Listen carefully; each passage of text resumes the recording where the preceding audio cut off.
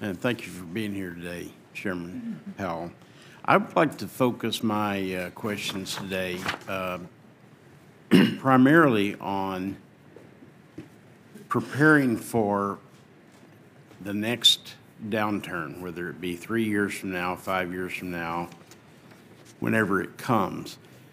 Historically speaking, is the, is the uh, Federal Reserve positioned as well as it has been positioned in past recessions when the Federal Reserve was the primary uh, go-to agency where uh, the federal government said, you know, we need help from you to, to stimulate the economy.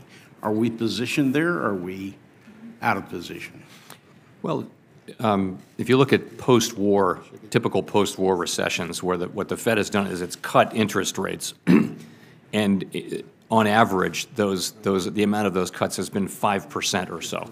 So with the federal funds rate having peaked at about two point four percent and now being at about a little above one and a half percent, we don't have that kind of room, and there are a couple of reasons for that. Just, if you look at the hit- longer-term interest rates, which are not directly affected much by our policy, they've just been declining for 40 years now. And that is because of inflation being lower and under control and less volatile.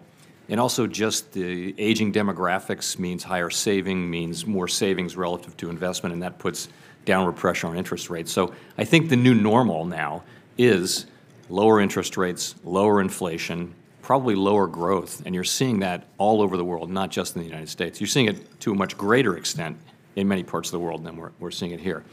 So, knowing that, that is one of the main reasons we have, really the basic reason why we are having this public review of our monetary policy framework to see if there are ways we can um, alter our, our strategies, our tools, and our communications in ways that would make us more effective in this world where we're, where we're too close, closer than we would like to zero, when we kind of run out of options. So uh, that's one thing. Fiscal policy will also be important, though. I mean, I- think from the standpoint of monetary policy, we're, we're looking hard at ways to make sure that we, that we can use our tools even after rates go to zero.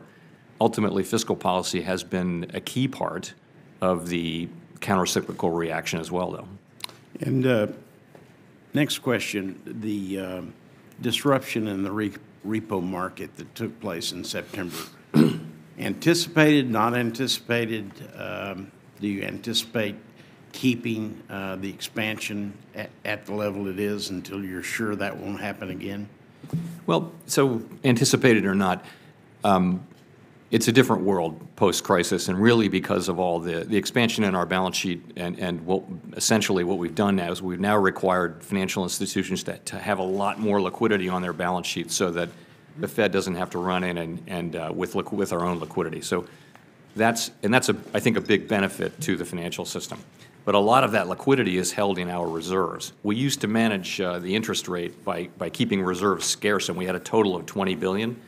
Right now, we have in excess of 1.5 trillion in reserves, and so that means that we're we're trying to find that level as we allowed the balance sheet to shrink, where reserves would become scarce, and there was really no way to know.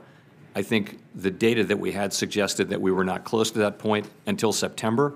I think um, we're still very much looking at what happened in September, but I think we learned in September that we needed to pour, to make sure that reserves didn't go under that level that we were at in mid-September, which is a little bit shy of one and a half trillion. So that's really what we're what we're doing.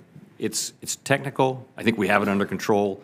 We're prepared to continue to learn and adjust as we do this, but it's a it's a process. I would say it, it's one that doesn't really have any implications for the economy or for the general public, though. Thank you.